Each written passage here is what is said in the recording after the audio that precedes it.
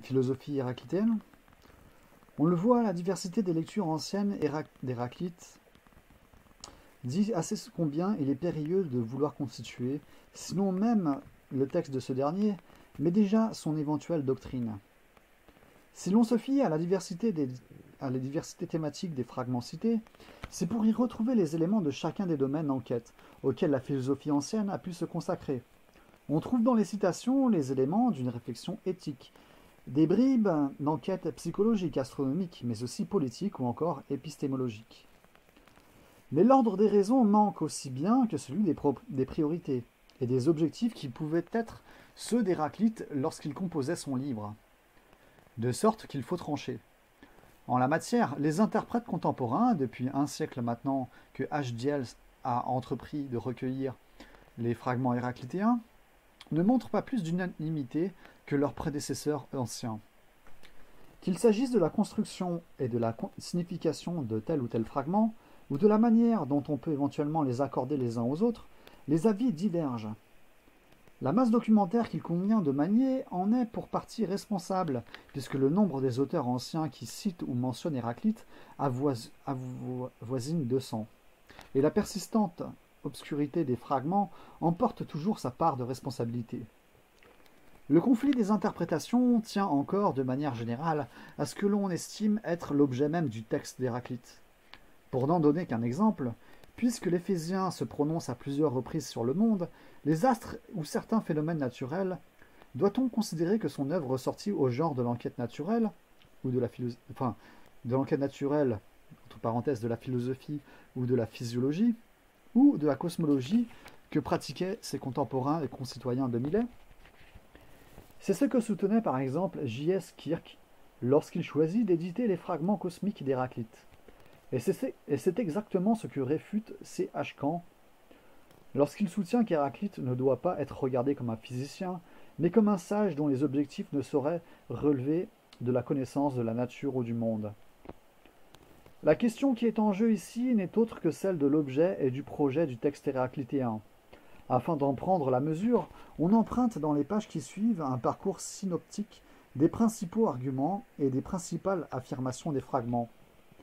Ce choix, qui est semblable à celui auquel obéira le plan du recueil, n'est certes pas aléatoire, mais il est anachronique et scolaire. On regroupe les thèmes et puis les fragments comme s'il était possible de les distribuer entre ces branches de la philosophie que sont la connaissance de la nature, les principes de la connaissance et les affaires humaines, c'est-à-dire, encore une fois, selon les des catégories qui sont postérieures à Héraclite. le monde, mobilisme universel et théorie de la contrariété. Le mobilisme universel est une expression conventionnelle qu'on emploie afin de désigner, euh, du coup c'était un grand, un grand 1, écrit avec un I majuscule. Le, euh, je recommence du coup. Le mobilisme universel est une expression conventionnelle qu'on emploie afin de désigner celle des formes nulles héraclitéennes, qui ont été les mieux, le mieux connues et le plus citées par les lecteurs anciens et modernes. Héraclite doit en effet l'essentiel de sa renommée à la proposition selon laquelle toutes choses s'écoulent toujours, ou changent toujours, ou encore sont toujours en mouvement. Quelle que soit la formule retenue pour qualifier ce mobilisme à la fois universel et éternel, elle est toujours accompagnée d'un même corrélat, et rien ne demeure. Que ce soit là le signe distinctif et peut-être même le principe de la doctrine héraclitienne est attesté par Platon et par Aristote, qui donne les premiers commentaires par nous conservés de la thèse mobiliste. Ils associent tous deux, cette thèse afin d'expliquer à leur propre lecteur en quoi peut constituer l'affirmation que toute chose change ou se meuve, à une hypothèse qu'on peut, qualifier, là encore de façon anachronique, de relativiste, et dont la particularité est de soutenir que la contrariété observée, apparente, dissimule une harmonie réelle. On pourrait résumer ainsi la représentation de la réalité qu'expriment la plupart des fragments. Toutes choses changent et se meuvent perpétuellement. Mais le changement et la contrariété apparente sont relatifs et n'empêchent en rien l'unité de toute chose. 1. Du coup là avec un chiffre. Une hypothèse relativiste. À des fins qui la plupart du temps sont illustratives, les auteurs anciens qui souhaitent rappeler le caractère relatif des jugements ou bien en donner des exemples s'appuient communément sur l'autorité d'Héraclite.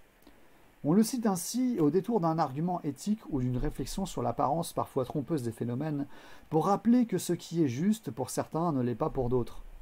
Qu'une route qui monte, qui monte est aussi une route qui descend, ou bien encore que la boue qui, que la boue qui évite les hommes est recherchée par les porcs qui s'y baignent. Lorsque de tels exemples sont attribués à Héraclite dans le cours d'un texte, le citateur ne les examine pas, comme s'il était attendu du lecteur qu'il comprenne spontanément, du seul fait de l'attribution de l'adage à Héraclite, à quelle sorte de jugement relatif on fait ainsi allusion. De ces adages, la plupart semblent à ce point proverbiaux, que l'on ne comprend que l'on ne comprend parfois pas la raison pour laquelle ils sont ainsi nommément attribués à l'Éphésien. Si l'adage qui dit que les ânes préfèrent leur paille alors doit être accompagné de la précision selon Héraclite, c'est sans doute que cette attribution, quel que soit le contexte de l'argument, apporte au lecteur ancien une précision et le renseigne sur le fait qu'il ne s'agit euh, précisément pas simplement d'un proverbe, mais déjà de la leçon philosophique qu'on doit en tirer. On nomme Héraclite parce qu'il est celui qui a employé ces proverbes à des, fins, doctrinales, qui en a tiré argument pour défendre l'entière relativité des jugements. L'allusion à Héraclite vaut donc pour allusion autorisée à une doctrine relativiste, et sans nul doute à la plus connue, sinon à la plus extrême. Les citations qui traitent de ce relativisme présentent quatre traits communs. Elles établissent en premier lieu ce que l'on, se rapporte à un objet quelconque, euh, à un objet quelconque selon ce qu'on est. C'est parce que la boue convient à sa nature et à son mode de vie que le porc aime à s'y baigner alors qu'elle ne convient pas à l'homme. C'est parce qu'il en vit que l'eau salée est salutaire pour le poisson quand elle est mortelle pour l'homme. De ce point de vue, le relativisme héraclitéen est une contestation de la nature, ou plutôt de l'identité exclusive des choses. Aucune d'elles ne peut être qualifiée d'une seule et unique façon. En deuxième lieu, la relativité des jugements et des qualités attribuées à Héraclite prend toujours l'aspect d'une opposition des contraires. Ce qui est bon dans un cas est mauvais dans un autre, dans l'autre. Ce qui est beau relativement à tel critère est laid relativement à tel autre. La relativité n'est donc pas indéterminée, mais elle qualifie plutôt un objet quelconque comme ce qui, dès lors que l'on attribue une qualité, doit aussi bien posséder la qualité contraire. En troisième lieu, comme l'indiquent les citations que l'on paraphrasait plus haut, si ce relativisme est bien général ou universel, c'est qu'il n'affecte pas seulement les objets du jugement. Ce sont aussi bien les sujets ou les agents qui eux-mêmes changent, de telle sorte qu'on ne peut leur attribuer une identité déterminée. Cette fois, c'est à la manière d'une philosophie du rapport et de la rencontre que se distingue la doctrine héraclitéenne. C'est le rapport particulier de l'eau salée et du poisson qui semble définir la vie même du poisson. De la même façon, il paraît impossible de se représenter l'existence d'un sujet du jugement qui conserverait son identité de quand toute chose autour de lui serait soumise au changement ou relative aux perspectives quant aux circonstances, comme aux circonstances. Celui-là même qui juge, par homme, ne le fait qu'à l'occasion d'un rapport qui le constitue relativement à un autre terme. C'est l'incapacité à vivre dans l'eau salée et le choix de l'eau pure qui met sur la voie d'une définition de l'homme et d'une possible distinction de ce dernier d'avec un poisson ou un porc. En dernier lieu, les adages relativistes prennent précisément la vie humaine pour objet. Qu'il s'agisse de toute la beauté, de la nature, de la justice ou de toute autre, qualité dont ils signalent le caractère relatif ou la contrariété, Héraclite paraît ne jamais perdre de vue cet, objet privilégié qu'est la vie humaine, la représentation et la connaissance humaine de la réalité, l'adoption des modes de vie ou des opinions qui la définissent. C'est-à-dire que d'emblée, y compris sous sa forme la plus communément citée et la moins discutée, la doctrine héraclitienne se propose bien de rendre compte de la vie humaine et son inscription dans une réalité relative ou changeante. Celle-ci ne peut être comprise qu'à la condition d'expliquer pourquoi et comment toute chose change, et plus précisément comment chaque chose peut être à la fois qualifiée d'une manière et de la manière contrainte, contraire. 2. L'écoulement. C'est dans le Cratyle de Platon que l'on trouve la première mention de l'hypothèse héraclitéenne d'un changement, ou d'un écoulement de toute chose, et la première citation conservée de l'image si fameuse du fleuve. Toute chose change ou s'écoule, aucune ne demeure et l'on ne saurait entrer deux fois dans le même fleuve. Abondamment citée, l'image du fleuve est équivoque.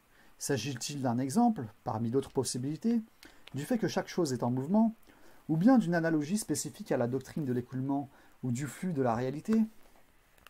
Ou bien encore, le fleuve est-il la métaphore qui nomme le caractère fluctuant de la réalité? Comme le suggère aussi bien Platon, qui la mentionne avec bienveillance, qu'Aristote, qui la critique, cette thèse, mobiliste ne peut être réduite euh, mobiliste ne peut être réduite à la seule affirmation d'un éternel et entier changement de toute chose. Sous cette forme indéterminée et simpliste, cette opinion est étrangère à Héraclite. L'univers n'est pas un fleuve, pas plus que ce dernier n'est le symbole ou l'analogue de la réalité. Il est fallacieux de songer qu'Héraclite ait induit l'écoulement de toute chose du spectacle du cours des eaux. Lorsque les interprètes de l'Antiquité attribuent à Héraclite une doctrine de flux, du flux, ils l'exposent à cette ambiguïté. Il convient toutefois, puisque toute chose s'écoule, Pantarei, d'expliquer comment Héraclite concevait l'existence d'un ordre et d'une permanence du tout, et comment il estimait, avec les savants milésiens dont il était le contemporain, que toute chose appartienne à un même et unique tout, tout ordonné, à un cosmos. La question est d'autant plus importante, si l'on songe au procès instruit par Aristote, que les auteurs qui évoquent ou accusent le mobilisme héraclitéen ont parfois compris et fait comprendre qu'Héraclite avait renoncé à la connaissance d'une réalité que son changement perpétuel rendait finalement inexistante. Si toute chose se meuve, constatait, constatait Aristote, alors aucune science n'en est possible. À cette critique qui paraît dirimante, il convient d'opposer l'ensemble des fragments qui défendent une connaissance vraie de la nature des choses, mais aussi et encore tous ceux qui établissent que ni l'écoulement ni la contrariété ne menacent l'unité et l'ordre total des choses. Dirimante étant un mot assez rare, je vais mettre la définition en description. 3. La contrariété. C'est l'exemple du fleuve dans lequel on ne peut entrer deux fois a bien pour fonction d'illustrer l'hypothèse que quelque chose demeure en dépit de l'écoulement ou du changement perpétuel. Cette hypothèse doit être entendue en un sens ontologique, relatif au mode d'existence de toute chose, et non pas simplement logique ou chronologique. Héraclite ne se contente pas de faire remarquer que le fleuve diffère dans le temps, qu'il change et se modifie à, mesure que, des eaux différentes s'écoulent et transforment son lit, il ajoute que le fleuve diffère de lui-même sans pourtant devenir autre chose que lui-même. C'est bien une même nature qui perdure. La question est ainsi posée de l'identité d'une chose quelconque à elle-même, et Héraclite demande que l'on conçoive une identité à soi qui supporte l'épreuve du changement perpétuel. La chose n'est possible qu'à la condition que l'on renonce à l'hypothèse de l'identité de la substance ou à celle de la composition élémentaire, une réalité perdure tant que les mouvements qui la distinguent conservent entre eux une certaine mesure, mettront, et non pas en restant immuables. La chose n'est toutefois claire qu'à celui qui ne cherche pas à congédier la contrariété, mais qui la reconnaît pour ce qu'elle est, la manifestation même de l'unité. Reprochant au poète Hésiode de n'avoir pas su ce que sont le jour et la nuit, Héraclite dénonce la manière dont on oppose les contraires alors qu'ils sont les signes et les aspects indissociables de l'unité. Plus exactement, les contraires sont des seuils qui délimitent et définissent un intervalle de changement, et qui permettent de concevoir la nature de chaque chose, sa définition aussi bien que son existence, comme un changement perpétuel, certes, mais limité. Dès lors que le changement excède ses limites, la nature de la chose est corrompue. La coïncidence héraclitienne des contraires ne signifie ainsi en rien leur confusion, mais elles nomment bien plutôt leur accord, leur unité, et non pas leur identité.